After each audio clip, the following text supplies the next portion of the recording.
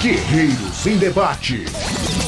É acordar muito cedo, perde um pouco da programação da alimentação é, e que acaba prejudicando, né, às vezes, o desempenho do jogador. Ainda mais nesse calor, às 11 da manhã, mesmo em horário de verão, muito quente. O que, que vocês acham dessa mudança de horário? É bom para o torcedor? É bom para o jogador? É bom para o clássico?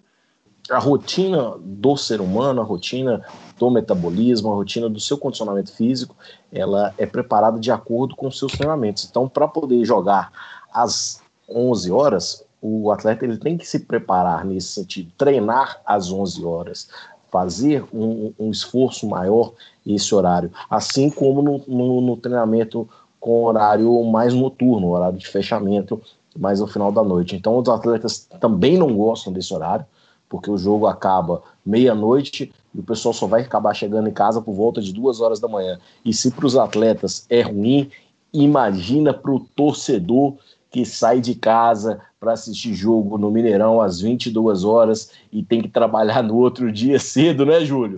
Vai contigo aí, meu amigo. É, do ponto de vista fisiológico, eu não entendo bem, né? É, tem umas coisas que são óbvias, né? Calor, ninguém consegue. Você vai jogar uma pelada 11 horas, você passa mal. Então, assim, não tenho dúvida que deve ser pior pro, pro jogador e é muito gostoso o Mineirão ser um jogo de manhã mesmo. No ponto de vista da competitividade do jogo, eu acho que não muda muito, porque para os dois, né? E aí, ah, mas o time do Cruzeiro tá média alta de idade, é, mas a zaga do, do, do nosso ex-rival lá também é Leonardo Silva e Heve, dá para dar uma deitada em cima deles 11 horas da manhã. Eu não me importo muito, assim, eu não, não, não com horário eu acho mais legal, mas não acho que nada crítico. O que eu não gosto mesmo é da divisão do clássico, né? Em torcida, eu acho que do ex-clássico, né? Eu prefiro 90-10 aí, porque é, acho que nossa torcida já bateu quase que 50% a mais que a torcida deles, até em Belo Horizonte também, não faz sentido mais a gente tratar, é, do ponto de vista mercadológico até, tratar como igualdade, não existe mais igualdade. O Cruzeiro tem que se posicionar fora disso. A diferença de torcida do Cruzeiro pro Atlético é a mesma diferença de torcida do Atlético pro América. E, e a gente tem que se posicionar nisso, não tem que se posicionar em igualdade.